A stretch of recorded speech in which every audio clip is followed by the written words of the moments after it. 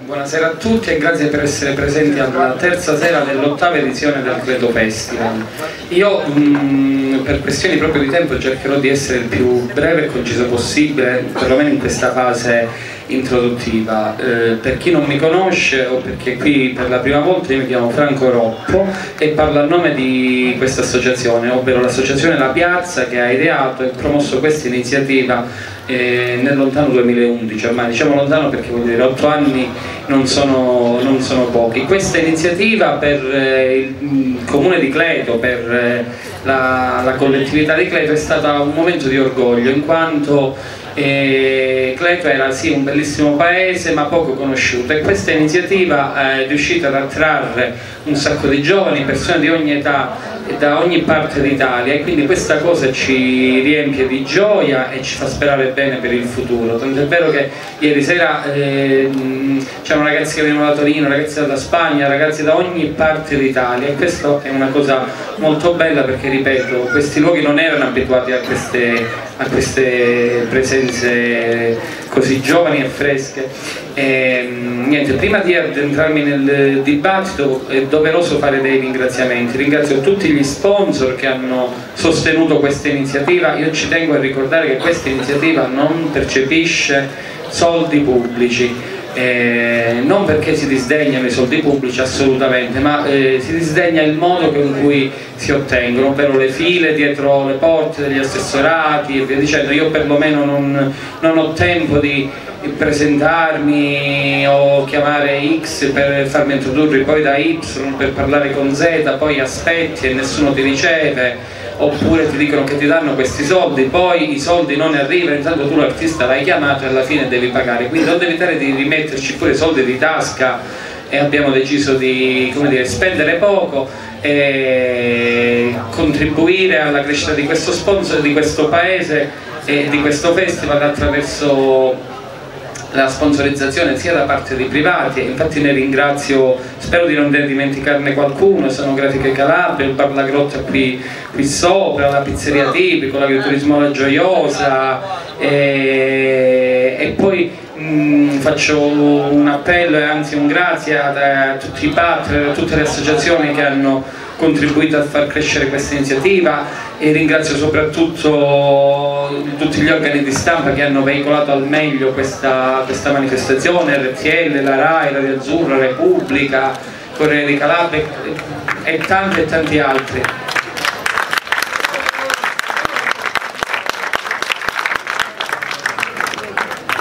E noi non abbiamo pagato nessuno, quindi né comunicati né cose, insomma tutto quello che vedete qua è stato fatto come dire con l'arte di arrangiarsi. Io mi sono cimentato nel, nel scrivere comunicati, un altro si è cimentato nel, nel, sistemare la luce, un altro ci ha dato una mano con il pane, altri ci hanno, della, ci hanno regalato la farina, altri ancora ci hanno regalato delle melanzane, insomma tutta, tutta la comunità si è incentivata eh, a contribuire alla riuscita di questo festival. Ringrazio la presenza qui del, del vice sindaco a dimostrazione che tutta la, la comunità di Cleto eh, gioisce per questa iniziativa e mi avvio a entrare mh, nei dettagli di questa ottava edizione. L'ottava edizione del Cleto Festival ha cambiato location, non è più nella parte alta, non perché questa è, meno, è più bella di quella, ma perché questa sembrerebbe più sicura. Io sono imperfetto in quanto non, non posso dare un giudizio tecnico, in quanto mi occupo di altro per lavoro, però a primo impatto i luoghi che l'anno scorso e gli altri anni sono stati le location del, del festival ahimè quest'anno anche per tutte queste normative che, con le quali ci dobbiamo trovare a, fare, a fronteggiare nell'organizzazione nell del festival ci, ci impedivano di operare in serenità in quanto eh, alcuni alloggi di proprietà privata risulterebbero dire, un po' compromessi nella staticità. Io mi auguro e mi avvio a concludere su questo su questo argomento che l'anno prossimo e gli anni futuri Cleto eh, sia testimonianza della storia, di una tradizione delle, delle famiglie di, di questo posto perché voglio dire mentre, eh, perdonatemi l'esempio, un magazzino a Milano cambia eh, settore merceologico, quindi da, da, pizzeria può diventare negozio di intimo e viceversa. Questi luoghi magari restano sempre così, e non cambiano, non cambiano soprattutto perché nella memoria delle persone eh, li ricordano questo così com'erano, ad esempio noi abbiamo aperto la sede all'interno del centro storico dove c'era un becco alimentare e quando qui a Clet ci chiedono dov'è la sede, c'era là dove c'era l'alimentare di Attilio, quindi eh, è così delle serrate si sono alzate dove altri magari le hanno abbassate. Io um, mi avvio alla discussione di questa sera. La speranza per questi luoghi che lottano sul ciglio dell'abbandono sono l'ospitalità e la cultura e questi elementi possono invertire um, e descrivere la storia dei luoghi e al contempo di dare una nuova vita. Quindi queste sono le motivazioni principali alla base di questa edizione, dove da un lato c'è la volontà di non far cadere il silenzio sullo stato di decadimento e di abbandono che affligge eh, innumerevoli edifici di proprietà privata, invece dall'altro eh, vogliamo al contempo dialogare ragionare sui cambiamenti della società attuale e in questa chiave abbiamo deciso questa sera di presentare questo libro che rappresenta forse una delle storie più belle della Calabria ed è una di quelle storie veramente fatte di uomini che hanno cambiato il corso dei paesi e, e anche un modo di, di, intendere alcune problematiche. Il libro è eh, Mimì Capotosta, eh, Mimma Lucano e il modello Riace, che è scritto da Tiziana Barilla. Purtroppo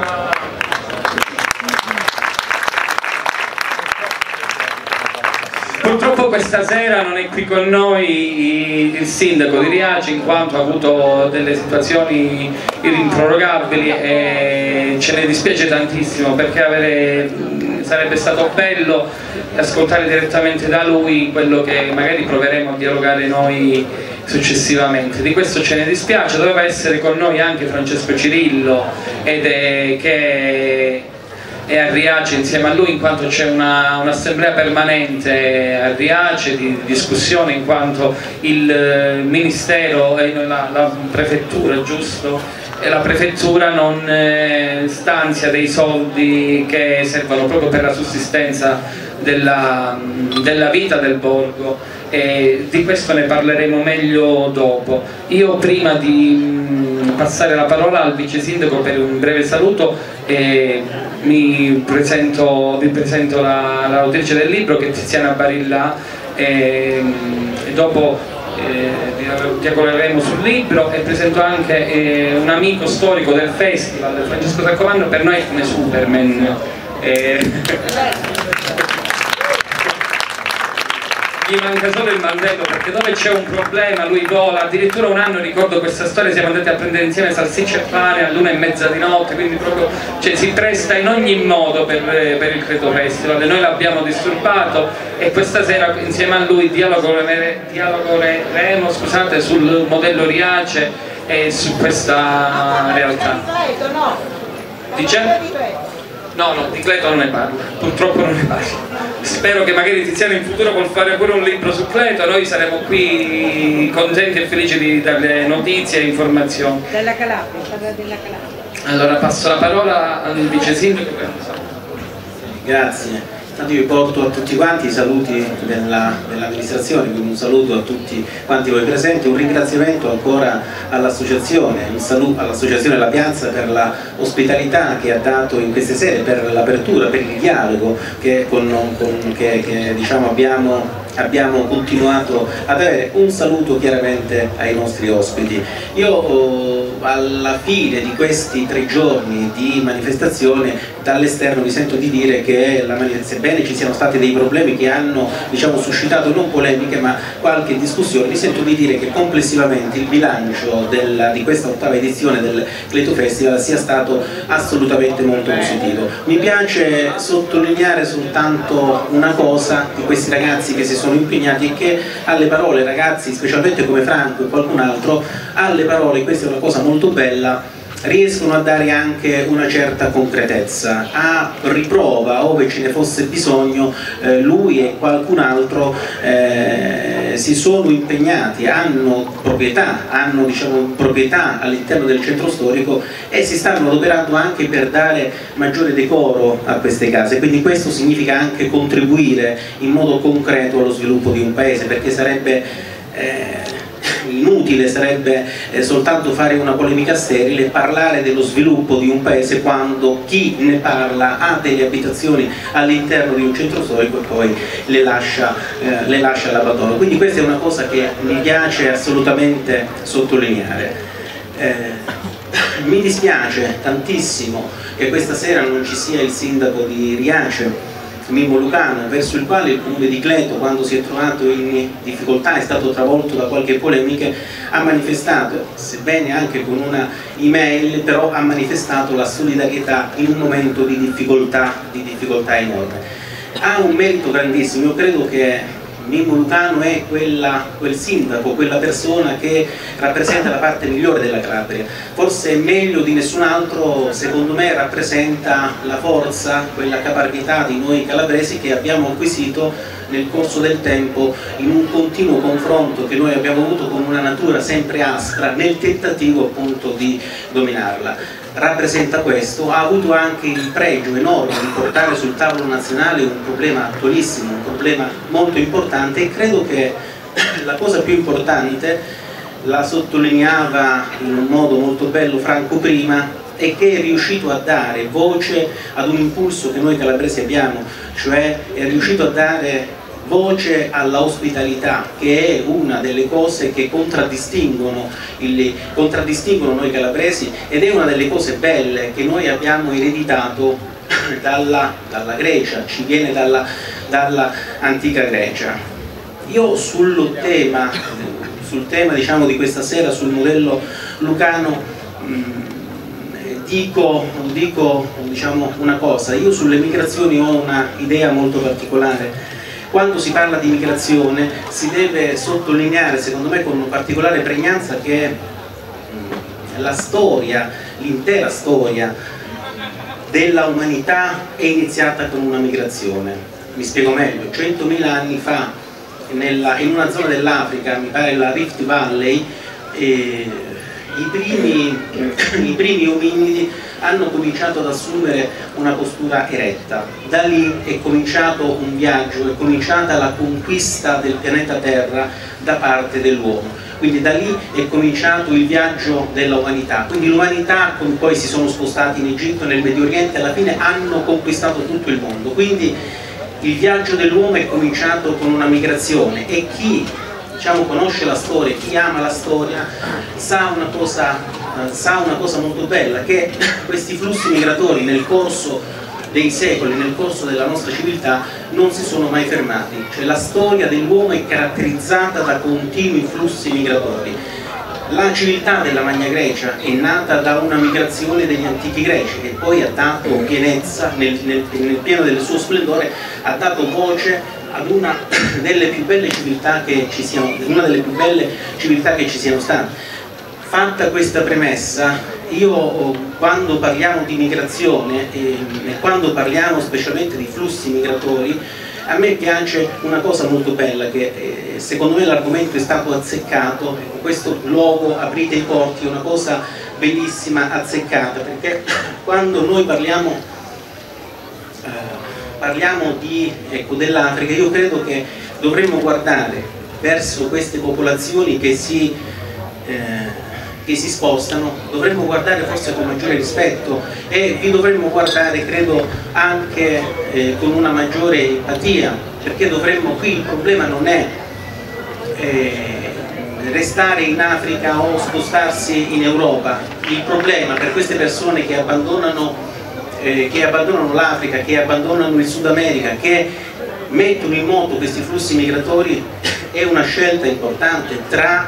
eh, restare e quindi andare incontro ad una morte certa, abbandonare questi posti e andare incontro ad una morte probabile. Quindi noi quando parliamo delle, dei flussi migratori lo dovremmo fare con, con, quella, con quella umanità che contraddistingue, con quella umanità e con quel senso di ospitalità che ha contraddistinto noi calabresi. Dovremmo credo chiederci per quale motivo, il motivo per cui una, una mamma con in grembo per esempio un figlio decide di attraversare il deserto e poi, e per, poi il canale di Sicilia, quindi andando incontro alla morte, lasciando quei luoghi che diciamo, sono i luoghi eh, ai quali sicuramente è legato, perché ognuno di noi è legato ai propri luoghi e per quanto brutti possano essere, però ha sempre, eh, diciamo, ha sempre un richiamo. Quindi noi come, come, come comunità che abbiamo vissuto, noi calabresi abbiamo vissuto tante volte il dramma eh, della, dell'immigrazione, ecco forse dovremmo porci in questo momento dove c'è un rigurgito enorme eh, di razzismo in un modo certamente più empatico nei confronti di questo fenomeno che, di, di, di questo fenomeno che noi diciamo per una vocazione, per vocazione, per cultura eh, conosciamo molto bene. Ci sono, e con questo mi avvio alla, alla conclusione, ci sono dei versi bellissimi di uno del nostro maggiore poeta, di Dante, quando nel Paradiso Cacciaguida gli predice l'esilio e quindi Cacciaguida dice tu uh, uh, presto conoscerai come sa di sale lo pane altrui e come duro calle salire e scendere eh, l'altrui scale. In questi versi che secondo me non hanno assolutamente tempo, sono universali, è racchiusa tutta quella sofferenza, tutta quella umiliazione che un esule quando lascia il proprio, proprio, il proprio paese eh, ecco, patisce perché va incontro a gente che diffidano di lui. E quindi noi in questo, in questo, diciamo, in questo momento ecco, al cospetto di un flusso migratorio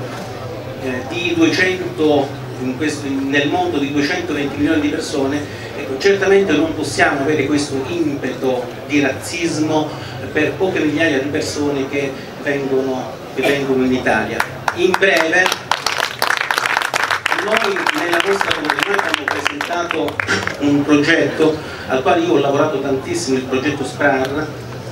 proprio perché crediamo che il flusso migratorio possa portare, una, una, possa portare degli aspetti positivi.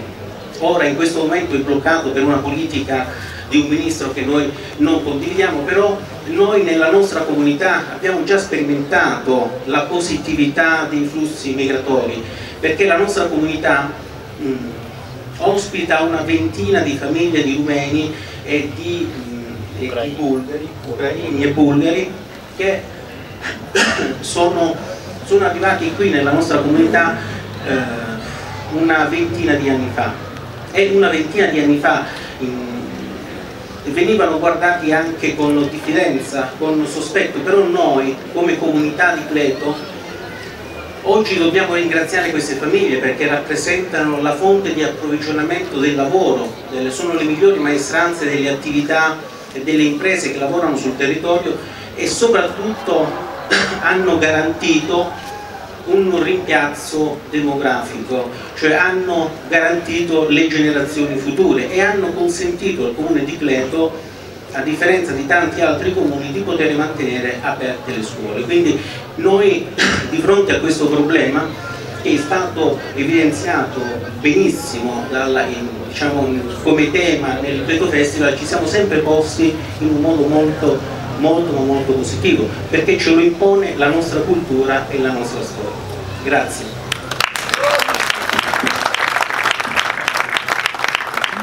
Grazie Giuseppe perché con eh, la sua considerazione ci ha, mi ha, avvio a fare una domanda a Francesco oh, Saccomanno che oltre ad essere un attivista ambientalista è anche una persona a fianco degli ultimi è, di tutte quelle battaglie contro le ingiustizie lui diciamo sta sempre in mezzo a, alle vertenze locali, alle vertenze eh, per, per, il diritto al lavoro, per il diritto all'abitare, anche per il diritto veramente all'accoglienza. Però se si parla di questo libro non si può fare una considerazione che si sente dire molto in televisione ma forse è bene che qualcuno ce lo spiega realmente cos'è un viaggio della speranza. Domandone. Dunque eh, intanto buonasera a tutti. Eh,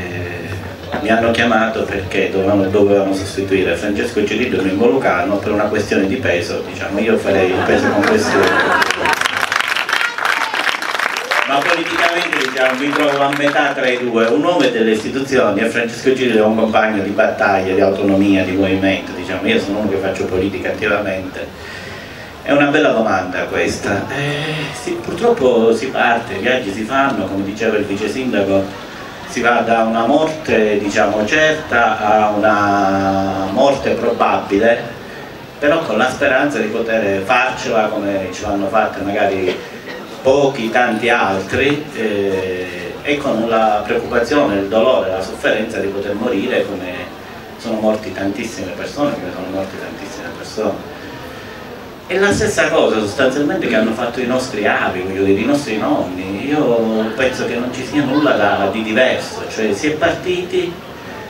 in una situazione di fame come c'era all'inizio del secolo o dopo la prima guerra mondiale o, dopo la, o prima, della, prima e dopo la seconda guerra mondiale. Si è partiti con la disperazione diciamo, di poter scappare e non è vero che partono quelli che stanno bene come si dice oggi perché anche allora ci si indebitava per poter partire. Si prendevano a credito anche eh, il vestito per poter viaggiare si pagava il viaggio dopo essere arrivati là e dopo, essere, dopo, a, dopo aver iniziato a lavorare, quando qualcuno ti aveva garantito il viaggio. E allora la differenza sostanziale non c'è, si partiva allora come si parte oggi, si, si, parte per cambiare, per avere una prospettiva di vita, non è necessario diciamo, partire per sfuggire dalla guerra, quelli sono diciamo, i rifugiati, i richiedenti asilo, chi parte in quelle condizioni diciamo, avrebbe diritto, diciamo, per le leggi internazionali, per la Costituzione italiana, di avere il diritto di asilo. Però purtroppo quello che è successo negli anni con il nostro silenzio, nostro di cittadini italiani, di persone che si fanno i fatti loro e che tanti che sono partiti sono morti. Quindi il viaggio è un viaggio di morte purtroppo. Eh, è un viaggio che Oggi viene su questi viaggi purtroppo e su queste morti si specula politicamente, questo è il dramma e la differenza tra oggi e allora. Io, io sono nipote figlio, nipote, figlio di emigranti, ho delle zie, eh, zii che abitano in Canada, che hanno viaggiato, che sono andati là, che hanno avuto la fortuna di poter lavorare, di trovare delle condizioni di lavoro. Non esisteva il diritto, il, il reato di immigrazione clandestina quando i nostri arrivavano negli Stati Uniti o in Canada. C'era bisogno di forze lavoro, i nostri facevano il lavoro che non si faceva più là, diciamo, i lavori più umili, come succede adesso, i migranti fanno i lavori più umili. Solo che in Italia ci siamo inventati diciamo, questo reato di immigrazione clandestina, che non è un reato imposto socialmente, è un reato che pesa economicamente e questo reato diciamo, serve a poter tenere sotto ricatto le persone che vanno a raccogliere le arance e i mandarini che noi mangiamo sulla nostra tavola e che paghiamo 40-50 centesimi, 60 centesimi e purtroppo vanno a raccogliere i pomodori che noi paghiamo con queste benedette, maledette doppie aste che fanno la grossa distribuzione no? per ottenere i prezzi al ribasso, ma il ribasso su, si, su cosa si fa? Ma sulla vita e sul lavoro delle persone, per cui è un viaggio che probabilmente è un viaggio, un viaggio doloroso, è un viaggio a perdere, è un viaggio che è una sorta di terno all'otto per molte persone. E devo dire che per i nostri nonni era più facile, ripeto, non c'era il reato di emigrazione di clandestinità quando si arrivava negli Stati Uniti, quando si arrivava in Canada e c'era la possibilità di poter lavorare per cui oggi abbiamo la necessità forse noi di chiederci ma perché avviene tutto questo? Non sarebbe più logico avere un permesso di soggiorno per motivi di lavoro? Uno potrebbe venire qua, raccogliere le arance, raccogliere i pomodori, certo con un controllo maggiore da parte dello Stato, quindi con condizioni di lavoro e di vita dignitose, e poi magari a fine campagna poter tornare nella, nella sua terra. Una cosa normale, diciamo, un diritto eh, di permesso di soggiorno diciamo, per diritti di lavoro. Mi sembra una cosa così semplice. Grazie. Eh, Francesco, io molto brevemente, prima di entrare nei dettagli del libro, passo la parola a Tiziana per delle riflessioni sull'assenza del sindaco Lucano. Buonasera. Questo te l'ho chiesto di fare questo piccolo appunto perché non si, si nota no, se manca il Lucano, quindi non è possiamo fare finta di niente, andare avanti. E quindi siccome non è la prima volta, non è che mi ho un problema concreto, eh, negli ultimi mesi è stata una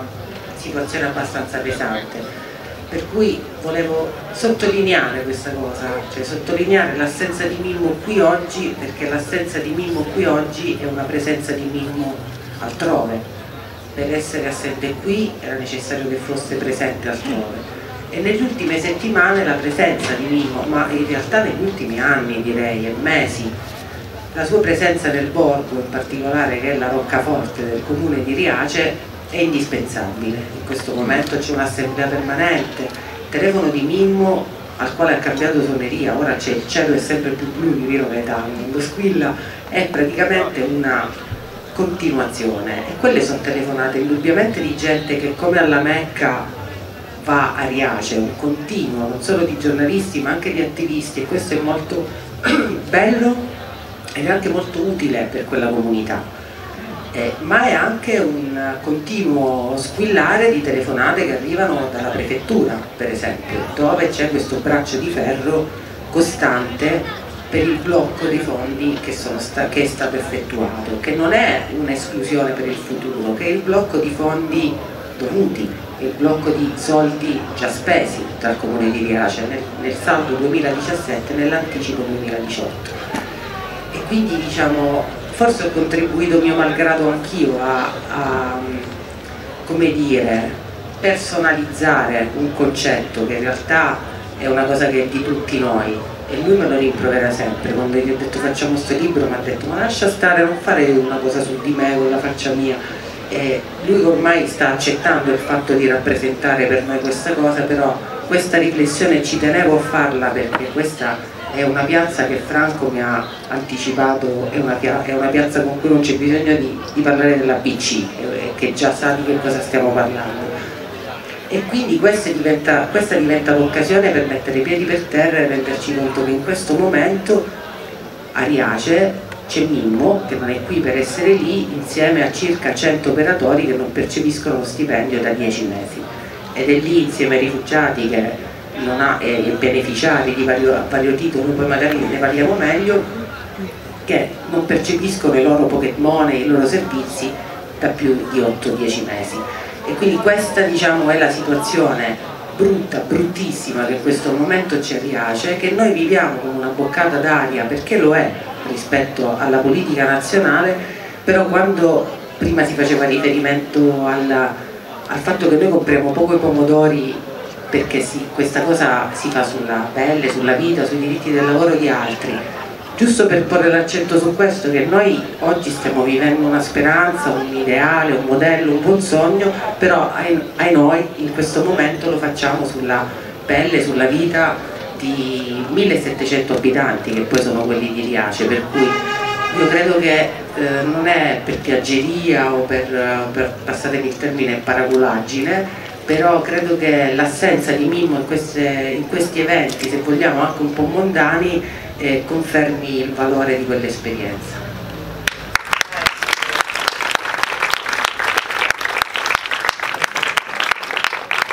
Allora, eh, entriamo dire, nei dettagli un po' del libro, cercando di raccontare al meglio questa, questa storia, questa bella realtà. Eh, io ho letto che tutto ebbe inizio eh, nel 1998 quando sulla spiaggia di Riace approdò un barcone eh, pieno di curdi. Io eh, chiedo a te Tiziana che sei attenta conoscitrice di tutta la realtà di Riace, nonché del, non solo del sindaco, che ruolo ha avuto in quell'anno la popolazione locale anche in virtù del fatto che nel 1998 Mimmo non era, non era sindaco? Dunque, nel 1998 quello che arriva nella costa di Riace è un veliero, certo messo male, però è un veliero. Tant'è che Mimmo definisce a me, ma lo fa continuamente, il modello Riace come un qualcosa che ha inizio grazie a una botta di vento, perché in realtà è una botta di vento che porta quel veliero con centinaia di curdi. E beh, Mimmo sì, non è un eroe, Mimmo è uno dei tanti riacesi che arriva sulla costa per andare a vedere che è successo, non era il primo sbarco in assoluto, né qui né da, da queste parti, né tantomeno dalla parte della, della costa ionica. Insieme a lui c'era Tonino Petrolo che ancora oggi è lì, indagato pure lui insieme a Mimmo nella cooperativa che gestisce l'accoglienza, c'erano tanti altri riacesi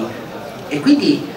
la comunità cosa ha fatto? La comunità è andata a portare cibo, è andata a portare tutto quello che poteva portare lì, era la sera del primo luglio quindi non era una situazione di freddo o emergenza di quel tipo e Mimmo era un semplice militante, un semplice attivista, tra l'altro era tornato da pochissimo in Calabria perché lui, perché lui era emigrato, sì, lavorava diciamo, vicino, tra Torino e la Valsusa, faceva l'assistente di un laboratorio chimico. Per cui lui è un attivista, un militante che insieme a un altro gruppo di attivisti e militanti ehm, ha guardato queste persone e le ha osservate, mentre questo, questo paio di centinaia di persone venivano accompagnate in un luogo che era diciamo così antistante alla chiesa del paese nella parte alta e lì sono stati ospitati diciamo dapprima con quella che oggi avremmo chiamato accoglienza straordinaria ed era luglio, a settembre a Riace c'è una gran festa, c'è la festa del paese quindi queste persone dopo già un mese pesavano, cioè dovevano andare via da là Mimmo, diciamo, a differenza degli altri, quello che ha fatto un po' a forma di rappresentanza era quello di andare due volte al giorno presso questa comunità e attraverso uno dei curdi che fortunatamente parlava spagnolo riuscire a interloquire con questa comunità. E uno di questi curdi ha spiegato a Mimmo che loro volevano soltanto dei tetti, delle case quest'area, per cui Mimmo e il resto della comunità riacese insieme a questo nuovo pezzo di comunità quello che hanno fatto nei primi tre anni, quindi non tre giorni, è stato fondamentalmente senza alcun contributo pubblico, senza alcuna forma di finanziamento strutturale, c'era niente in Italia nel 1998 c'era diciamo, la normalità, c'era il fatto che se arrivano delle persone tu le accogli, che, fino a ci sembra un'epoca preistorica ma in realtà era fino a vent'anni fa era una cosa normale per cui quello che fanno è colletta un piccolissimo mutuo, se non sbaglio di 5.000 euro a banca etica, con il quale comprare il materiale e cominciare a ristrutturare pezzi di case del borgo. Case del borgo che sono state cedute dagli emigranti riacesi, contattati a uno a uno telefonicamente e, e messe appunto a disposizione di queste nuove persone che erano arrivate. Per cui luoghi la signora prima ci faceva notare ma parla di Cleto, in un certo senso sì, parla anche di Cleto, parla di tutto l'entroterra calabrese, ma parla, del, dell'entroterra dell'Appennino, ma parla persino dell'entroterra nelle Alpi, parla di tutto diciamo, un pezzo geografico in cui oggi lo, lo, scrivevamo, è stato scritto anche nel, nel giustificare il tema del, del festival che Risvegli cioè tutto un tratto di paese nostro, ma non solo, questa cosa si, si ripercuote anche in altri paesi europei, il cui destino è stato scritto da un sistema economico che è quello del capitalismo avanzato, io direi ormai proprio più che avanzato, ormai quasi in agonia, ahimè, ehm, perché è più cattivo, non perché sta finendo, ahimè, e, e quindi il destino di Riace che, che, sono riusciti a invertire fondamentalmente anche quello di Cleto è il nostro, è quello di tutta una serie di territori che, il cui futuro è scritto se stiamo in quelle regole, ma se, se usciamo da quelle regole come ha saputo fare Riace allora il destino lo possiamo cominciare a scrivere noi, non lasciandolo scrivere alle multinazionali di cui un po' faceva riferimento prima anche Saccomanno con, con la grande distribuzione. faccio subito un'altra domanda. E, mm, volevo sapere, insomma, tra le tante storie che poi si, sono, si intrecciano nel, nella comunità di Riacese, qual è stata quella che poi ha fatto sì che ti portasse a scrivere questo, questo libro? Se ce n'è una in particolare quale conservi un ricordo diverso? La mia. La mia nel senso che all'inizio eh, io ero, da, ero, poco convinta, almeno quanto Mimmo Lucano nello scrivere questo libro, che, che invece forte, l'ha fortemente voluto la casa editrice. Non eravamo poco convinti. Io ero poco convinta perché l'avete visto a Mimmo Lucano com'è, per cui ho detto se devo scrivere un libro su Mimmo Lucano diventerò pazza a inseguirlo. In realtà poi ho capito che era la mia, la mia, la tua, insomma, era la mia, ho sentito molto mia questa storia. Per me ha rappresentato un percorso, che lo dico sempre, mi piace ribadirlo, contro la rimozione. La nostra è una storia, anche quella che abbiamo lasciato scrivere ad altri e che invece è stata scritta da noi già in passato e, e per me ha costituito un libro appunto contro la rimozione perché Mimmo per me è stato quasi un espediente, mi ha permesso di viaggiare dentro uno spazio diciamo politico oltre che geografico e di andare a toccare tutta una serie di storie e personaggi della mia terra, della nostra terra, eh, che qualcuno ha dimenticato, qualcun altro ha congelato come se fosse una cosa d'altri tempi che non ci appartiene più. E, ehm, e quando parlo di questo parlo di, a questo punto lo devo dire subito, parlo di Mario Congiusta che ci ha lasciato ieri e che è un pezzo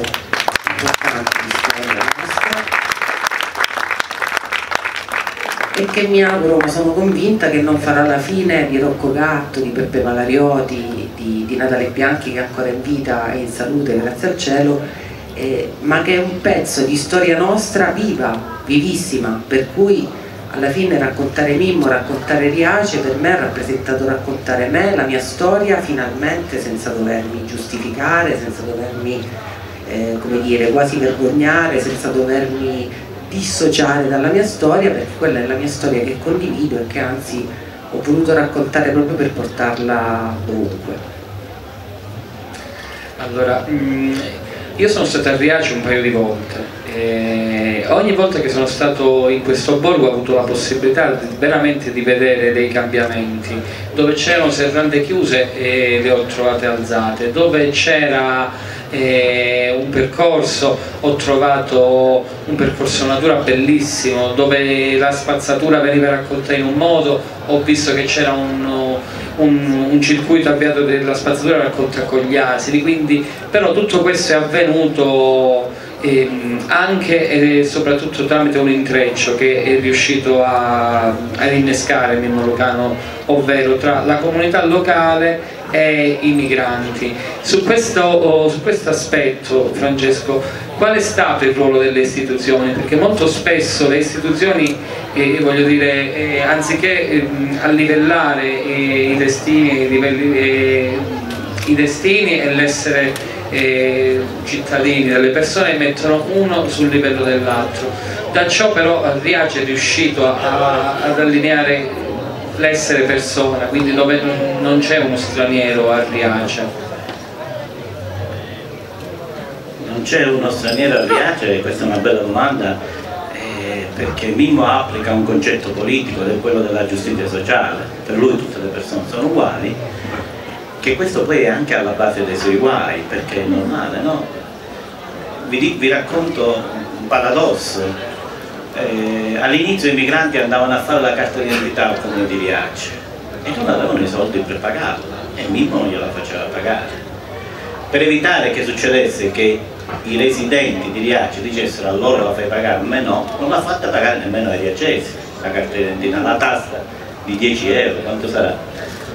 Adesso la finanza gli contesta che quei soldi lui li avrebbe dovuti incassare, però lui sostanzialmente non ha agito in funzione del fatto di tutelare dal punto di vista legale quel, quel, quell'atto che stava facendo. Lui ha agito con l'idea della giustizia sociale. Se quelli non ce l'hanno e non la pagano, io non lo faccio pagare nemmeno ai diecesi. Poi posso andare incontro a lei anche a delle conseguenze legali, però io le rivendico queste conseguenze legali perché le ho fatte non in nome di un mio interesse, di un interesse personale, ma le ho fatte in nome della giustizia sociale. È un paradosso questo per dire che questo villaggio globale che è rappresentato da questo piccolissimo paese è, come diceva Tiziana, potrebbero essere tutti i nostri borghi, Pleto ancora più di tantissimi altri, perché a Pleto ci sono i ragazzi, i giovani, non più ragazzi, qualche anno fa erano ragazzi, adesso sono giovani e un po' più adulti, che hanno competenze, che hanno voglia che sono rimasti, che hanno deciso di lavorare qua, che fanno questo festival per rivitalizzare il borgo e quindi a Cleto diciamo come in tanti altri paesi della parte interna nostri, della, della, nostra regione quella che un tempo veniva definita l'osso no? della, della, se ci ricordiamo diciamo, mentre la polpa è stata rappresentata dalle parti più ricche, le zone interne più povere erano il cosiddetto osso del meridione. Lì diciamo in quest'osso eh, in questa parte di osso della regione l'Involucano è intervenuto facendo sostanzialmente avendo un'idea politica dietro. Tant'è che noi non difendiamo un Involucano perché ci è simpatico lui o perché siamo amici di un Involucano come pure lo siamo, siamo amici e compagni. Ma noi difendiamo un modello politico cioè Involucano sostiene che si può fare politica diversamente. E quindi lui per esempio in un periodo in cui l'accoglienza è considerata in alcune zone della Calabria, non vi scandalizzate, come una nuova forestale dove si può sistemare il figlio, il nipote e il cugino lui ha per esempio spaccato la sua famiglia perché non ha dato il lavoro né alla moglie né ai figli che sono dovuti partire per andare a lavorare fuori per mantenere la sua integrità politica diciamo una cosa che gli ha creato dei problemi anche personali no? e per creare questo villaggio globale sostanzialmente hanno utilizzato questi fondi che vengono dati diciamo, per l'accoglienza dei rifugiati e dei richiedenti asilo. Quindi stiamo parlando di rifugiati e richiedenti asilo,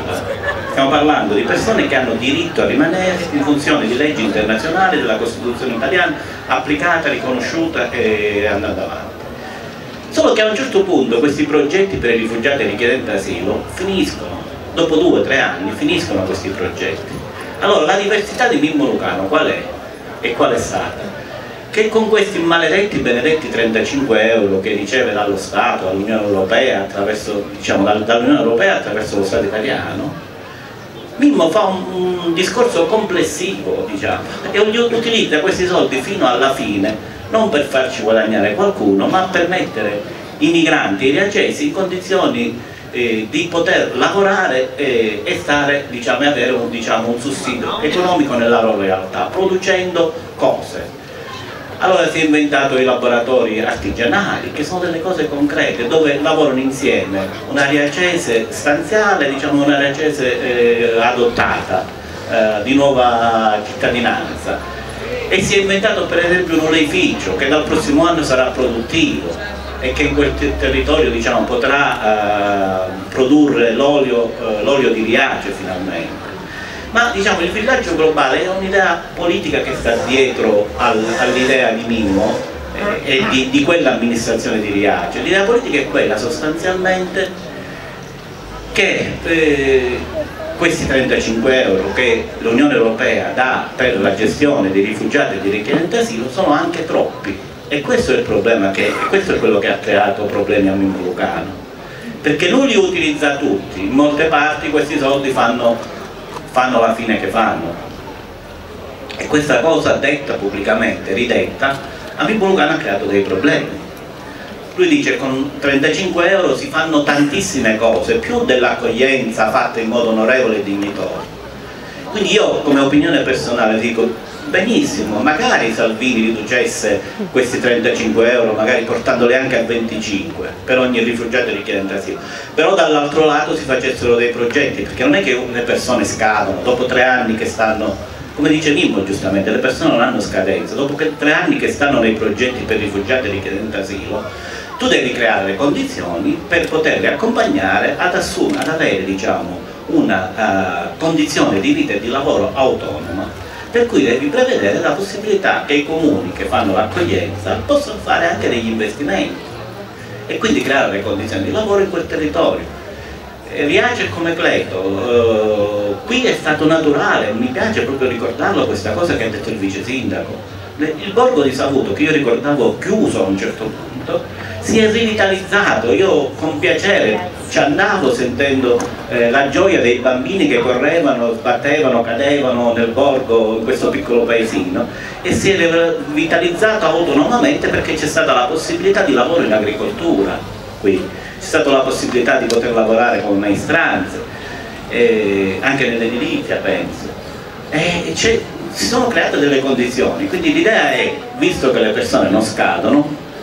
Salvini fai quello che vuoi, riduce pure i soldi da dare eh, e cerchiamo di tagliare l'industria dei migranti dove tanti fanno soldi sulla pelle eh, di, queste, di questi nostri fratelli e tra l'altro molto spesso chi fa soldi in questo modo ha dei legami clientelari con eh, personaggi politici, in questa regione succede anche questo, questa è la, la, la gravità. Diciamo. E per cui poi si condanna e si attacca l'unico modello che crea sostanzialmente il modello Riace, non è che ha creato benessere eh, per i migranti, il benessere principale l'ha creato per la comunità di Riace. Se ci sono 80 persone di Riace che oggi lavorano con quel modello, vuol dire che qualcosa sarà servito.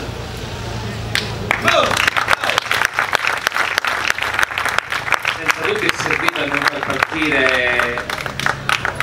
tanti ragazzi di, di Riace, io ci sono stato, ripeto, di recente, ho visto che c'è una comunità viva e, e questo è molto bello, a differenza di tanti altri paesi che hanno fatto altre scelte, che ahimè i risultati poi sono stati sotto gli occhi di tutti, perché è giusto ricordarlo che questo modello SPRAR Riace è partito tanti anni fa, quando magari in altri posti si pensava a fare sagre di zucca o qualcos'altro, loro pensavano a, a questo e questa legge sullo SPRAR c'era già da tanti anni, quindi gli va dato senza dubbio uh, un riconoscimento solo per la lungimiranza e il modo di interpretarla questa legge. Io ritorno di nuovo da te Tiziana, eh, io ho avuto, ripeto, l'opportunità di visitare Riace, ho visto un bel momento che le strade hanno cambiato nome. E hanno preso il nome di, di persone che hanno delle storie importanti, persone che hanno combattuto per un'idea fino a rischiare persino la vita. Io ho visto che c'è persino una strada intitolata a Peppino Impastato e mi voglio soffermare su questa figura importante perché anche noi come associazione della piazza nel nostro piccolo abbiamo deciso di intitolare la nostra sede, quindi con all'interno una biblioteca a questa figura importante. Io ti chiedo, secondo te Tiziana, cosa penserebbe se fosse ancora qui eh, Peppino Impastato dopo una visita a Riace? A questo non posso rispondere, nel senso che Ehm, è un nome importante quello di Impastà, è uno dei nomi che abbiamo messo anche quello nell'Olimpo e abbiamo allontanato da noi. Credo che Mimmo e pochi altri abbiano in realtà continuato in questi 60 anni praticamente a stare accanto a Peppino Impastato lui è uno di quelli che quando gli chiedi di che partito sei ti dice sono del partito di Peppino Impastato che sembra una cosa poetica detta così invece no, era di DP, era di democrazia proletaria cioè non era un modo di dire era lo stesso partito di Peppino Impastato e, e quindi io non ti so dire cioè, ma, non, ma, non, mi azzardo neanche a mettermi nei panni o, o a dirti ti posso dire la valenza politica enorme di, di quei murales perché Peppino è, è dovunque è appena, entri, è appena entri in paese prima di arrivare in piazza è appena entri in piazza ed è davanti a Palazzo di Nao è ovunque. C'è un bene confiscato alla Marina che diventerà dovrà dovrebbe perché ormai è sempre bello usare il condizionale mi piace una, un ostello della gioventù che verrà intitolato a Peppino in passato, quindi è una presenza enorme, quasi ostentata. E la valenza è, ti dicevi giustamente, la toponomastica è sicuramente ha un numero smodato di eh, vittime di mafia, però, però non sono vittime di mafia tra virgolette qualunque, non per fare serie A serie B. Mimmo ha voluto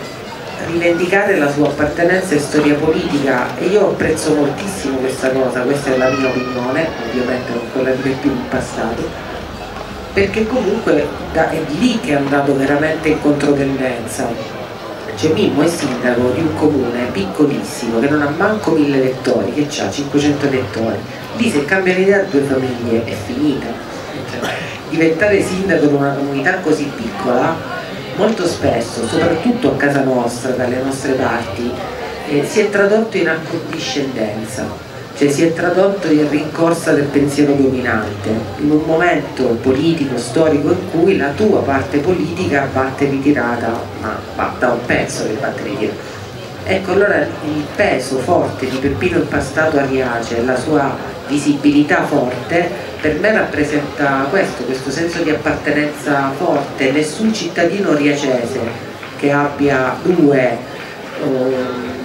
o 200 anni e che sia nato lì o in uno dei più di 20 paesi di origine dei cittadini riacesi di oggi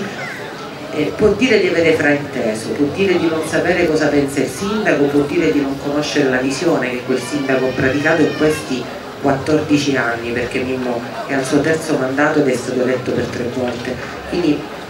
per noi, dico tutti noi il messaggio forte, chiaro, molto importante è quello cioè deciso, avanti, a condiscendenza zero. Lui non solo rivendica ma rilancia. Quando veniva accusato con le cose che diceva prima Francesco quello è uscito dopo che gli hanno consegnato l'avviso di garanzia ha detto mi avvalgo della, della facoltà di parlare, non di non parlare. Cioè io voglio avvalermi di questa facoltà, quindi il valore grande di questo uomo, insomma, nostro vicino di casa probabilmente è stato questo, che come Peppino Impastato e, e sentendoselo così vicino ha sbandierato ai quattro eventi le sue, le sue idee politiche, anche e soprattutto quando era sconveniente. E quindi io credo che la valenza importante eh, sia questa, sia, sì, più che altro la, non è tanto una questione di coerenza, è proprio una questione secondo me di convinzione, cioè Mimmo ha sconfitto il grande nemico della, chiamiamola sinistra, che è eh, il cinismo, non è l'ipocrisia, non è la rincorsa, non è il moderatismo, soprattutto in Calabria poi di cinismo, cioè siamo maestri di cinismo. Lui è riuscito a sconfiggere il cinismo, non, l'ha mai intaccato neanche per un attimo. Cioè uno che piange se, se, gli viene da piangere, ride se gli viene da ridere, eh, ti parla di Peppino impastato in, un, in una convention dove ci sono centinaia di compagni incrattati che parlano di come dividersi i soldi e disperare e quindi io credo che la valenza forte sia quella è riuscire a sconfiggere il cinismo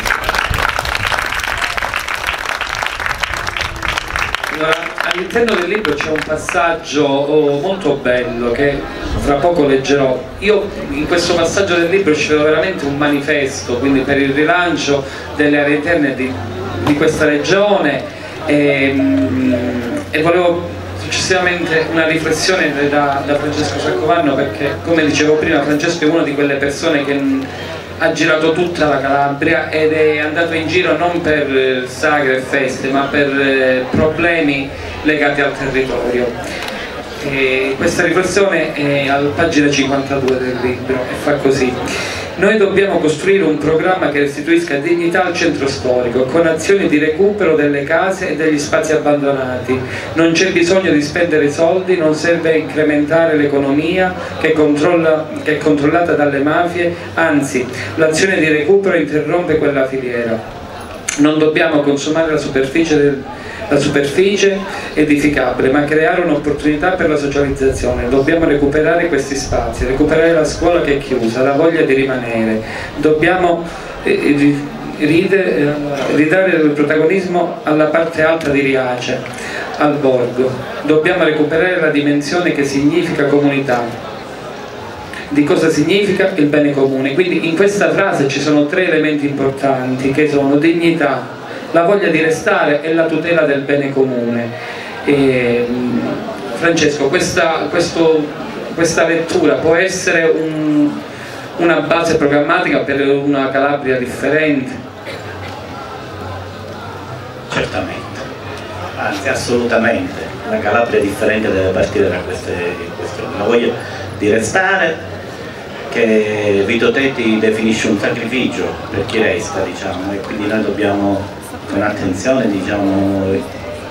riconsiderare diciamo, questa nostra presenza sul territorio.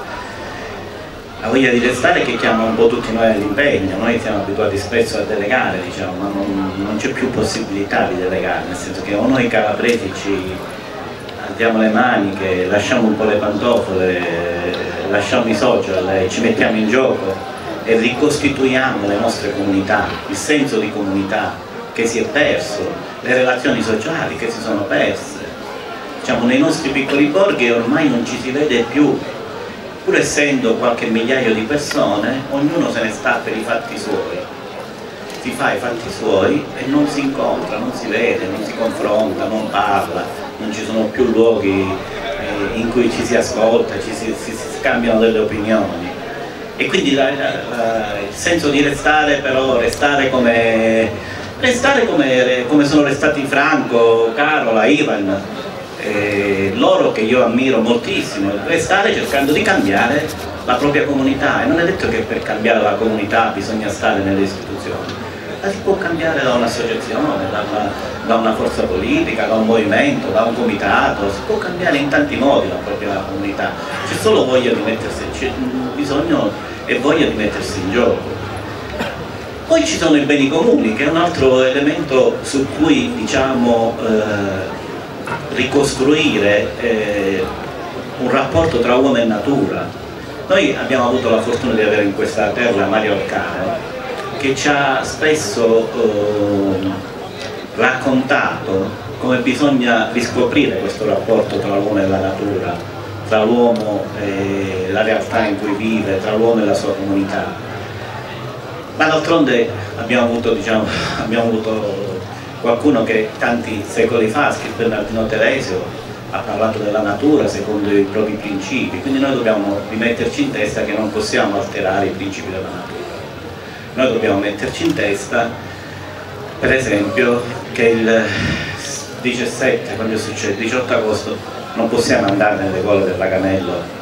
a fare un'escursione e quindi lo voglio ricordare alle persone che sono morte che sono morte secondo me non certo per loro responsabilità ma sono morte per responsabilità di chi gestisce quel territorio. Di chi non ha cura del territorio ma mi sembra normale che in un'area protetta una delle aree più protette del parco si possa accedere senza le guide impunemente senza che nessuno controlli l'accesso e già il parco purtroppo come tanti altri enti è propenso a dare soldi per il carnevale del Pollino ma non è propenso a tutelare il territorio per cui cura dei beni comuni, e in questo Mimmo ci ha dato un esempio importantissimo, significa anche per esempio tutela delle risorse idriche del territorio. E Mimmo con dei fondi che ha ricevuto dal governo nazionale che dava dei contributi per le persone che avevano sul proprio territorio dei migranti gli aspetti per rendersi autonomo con uh, le risorse idriche, per cui lui è, si stacca dalla Sorical alla propria autonomia da, sette, da settembre, ottobre, alla propria autonomia totale per le risorse idriche e gestirà in proprio questo bene comune fondamentale, per cui tutti tanti anni fa abbiamo votato, la maggioranza degli italiani hanno votato, hanno deciso che l'acqua doveva essere gestita in modo pubblico e quindi, sulla, quindi insieme c'è l'accoglienza, i beni comuni, restare, di mettersi in gioco come comunità, chiedere a tutti di partecipare perché il laboratorio lo, fa, lo si fa tra un migrante e un residente, un viagese d'adozione e un viagese stanziale. Eh, tutelare i beni comuni, quindi avere questo rapporto con la natura, fare di quello che era una discarica eh, un orto sociale, dove le famiglie di migranti, come si, co, così come le famiglie viagesi, possono farsi il proprio orto, crescere gli animali da, da cortile, quindi avere le proprie uova, fare diciamo, in proprio, recuperare eh, un'economia rurale diciamo, che c'era nei nostri paesi. È, un, è, una cosa che si può fare ovunque, questo è il messaggio di viaggio secondo me che deve passare, è una cosa che si può fare ovunque nei nostri bordi se solo noi cittadini ci mettiamo in testa che è una cosa che non dobbiamo delegare agli altri, ma che è una cosa che dobbiamo chiedere, pretendere, volere, fare, determinarsi, mettersi in gioco. E per cui se nel mio paese non si fa la raccolta differenziata io la pretendo, se nel mio, se nel mio paese non c'è la tutela delle risorse idriche io la pretendo, eh, se nel mio paese c'è un problema io me ne interesso. E semplicemente ritornare a, a, qualcuno che in quel tempo, quando diciamo perché in passato faceva politica a sinistra, che poi è la mia parte, parlava anche al mondo cattolico, diceva eh, io mi interesso, a me interessa diciamo, il pubblico. E per cui è, secondo me l'esempio di Riace è la,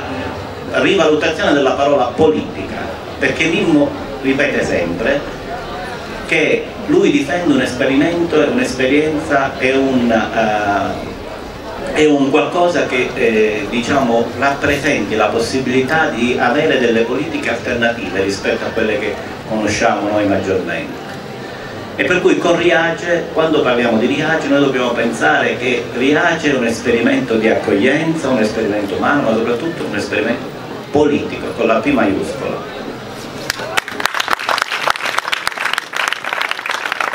Io chiedo scusa se non apriamo successivamente un dibattito, ma purtroppo, ahimè, questi giorni del festival sono stati caratterizzati da un tempo incerto che ha slittato un po' di, di attività e quindi siamo un po' in ritardo. Sì. Una cosa importantissima che Tiziana non vi dirà ma che vi devo dire io. Dovete prendere il libro di Tiziana. perché? Perché, allora, la prima cosa, è stato tradotto anche in spagnolo. Mo, questa, questa donna qua presente, questa compagna, si è fatta carico di organizzare la presenza di Aceri De Magis e di Ada Colau, la sindaca di Barcellona, che sono stati qui d'estate grazie a Tiziana. Si è fatta carico di, questo, di scrivere questo libro, libro, e di scriverlo benissimo. Lì è riassunta l'esperienza degli Aceri. Tramite il suo libro voi vedete quello che è successo concretamente. È stato tradotto anche in spagnolo e si parla forse adesso di una possibile traduzione anche in francese, o sbaglio? C'è un progetto. Per cui eh, io devo dire veramente, come tanti di noi dobbiamo dire grazie a Tiziana per il lavoro che fa, e anche del Credo Festival si è parlato sul suo giornale che è il salto, lei è una giornalista, diciamo, e questa marchetta la dovevo, si poi mi è chiaro dopo. Una considerazione più doverosa, quindi quando finisce il dibattito allestiremo un piccolo banchetto per eh, l'acquisto del libro. Eh. Quindi Tiziana io ci tenevo a farti un'ultima domanda, eh, però necessita per forza di una considerazione che ha fatto prima Francesco, dove diceva che il sindaco faceva le carte d'identità perché magari il funzionario non c'era o perché il dipendente non aveva voglia di svolgere al meglio l'attività o perché era in ferie, quindi molto spesso questi sindaci di queste piccole realtà sono costretti a fare tante cose. E quindi magari in questa burocrazia è facile perdersi, quindi ehm, e mi, mi, allaccio soprattutto al discorso che eh, il sindaco sta portando avanti attraverso uno sciopero della fame che è quello di rivendicare quello che gli spetta, perché la comunità di Riace è riuscita concretamente a, a spendere al meglio questi soldi e a lasciare un segno concreto su tutto il territorio, però ahimè il sindaco magari non si è tenuto forse in maniera scrupolosa alla norma e alla burocrazia, invece altre cooperative come abbiamo visto a Roma che magari possono sfruttare commercialisti eccellenti e avvocati zelanti e furbi in grado di raggirare ogni norma, lì i soldi arrivavano e come si arrivavano. Quindi se ci sono delle responsabilità magari della politica che non scende veramente a livello di, del sindaco di, di Riace, noi che possiamo fare e come possiamo aiutarlo in questa, in questa lotta? No, intanto Mimmo si occupa delle carte d'identità in generale perché Mimmo è il responsabile dell'ufficio dell anagrafe e lo è perché è andato in pensione il precedente invece di spendere soldi si è preso questa responsabilità perché come tutti i comuni e soprattutto come i piccoli comuni eh, non è che viaggi in acque comodissime per cui può, può immaginare di fare chissà quale assunzione. Allora noi abbiamo due possibilità, giuste, tutte e due, poi ognuno sceglie quella che gli è più vicina. Eh, in realtà però non sono uguali, diciamo sono successive. Da una parte noi abbiamo sicuramente il sindaco che è quello di Riace che come la maggioranza dei sindaci sicuramente non ha rispettato impeccabilmente tutta la burocrazia impressionante che negli ultimi anni non a caso per scelta e volontà precisa politica è aumentata a sproposito soprattutto mi riferisco per chi ha, ha esperienze nell'ISPRAR al nuovo regolamento SPRAR no? Nella mia città che è Reggio Calabria c'è un modo di dire che se ti entra la finanza qualche cosa te la trovo che è un modo di dire che si utilizza per tutto, non solo per la finanza. E cioè che quando il sistema burocratico si fa fitto, evidentemente dietro c'è la volontà di modificare o peggio ancora come sta succedendo a Riace di punire un modello preesistente quindi attraverso la punizione di quel modello preesistente cambiamento la messa in accusa e quindi ti crei tu la giustificazione per modificare quella cosa per non dire che è una volontà politica. Per cui noi abbiamo una possibilità che è quella di dire ma con tutti i problemi che abbiamo in Calabria il nostro problema può mai essere Mimmo Lucano che ha fatto delle cose piccole, e cioè con l'andrangheta che hai veramente il problema pu puoi avere paura di un sindaco che ti lascia le carte d'identità senza prendere 10 euro.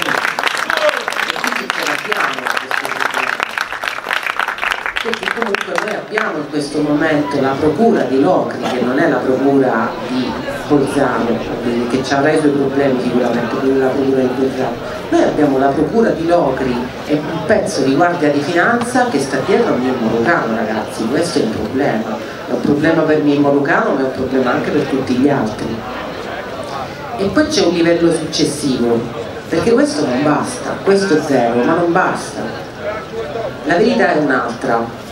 è tornato Franco, così ora glielo posso dire. La verità è questa, ma c'è un altro pezzetto di verità, e c'è un altro pezzetto di verità è che quando il mondo intorno a te cambia e c'è quella famosa differenza che per fortuna sempre più persone oggi richiamano che è la differenza enorme che noi spesso non vediamo fra la legalità formale e fra la giustizia sociale che noi a volte diamo grazie anche a um, poi un piacere di, di confrontarmi dopo e ci fosse qualcuno del Movimento 5 Stelle ma grazie anche a un'operazione enorme che i 5 Stelle hanno fatto, noi abbiamo fatto un grande errore, ci abbiamo fatto coincidere la legalità formale con la giustizia sociale quando non è così, perché disobbedire a una regola ingiusta è giusto dal punto di vista della giustizia sociale. Noi negli ultimi anni, in particolare negli ultimissimi anni, abbiamo assistito a una serie di decreti, perché ovviamente le regole ingiuste non è che arrivano con la legge costituzionale, arrivano a botte di decreti, come si dice nei palazzi del potere, noi abbiamo assistito a una sfilza enorme di leggi e decreti e decreti trasformati in legge allucinanti il Jobs Act ha avuto delle conseguenze devastanti anche e soprattutto per i migranti, perché per un migrante che già è preso da, da ma, da, dal collo con una mano da qua con la bossifina, il Jobs Act ha messo la mano dall'altra parte del collo e l'ha messa pure intorno a noi. E allora vedi, tu dici perché devi fare questa cosa? Come se ne esce? Se ne esce disobbedendo alle regole, se ne esce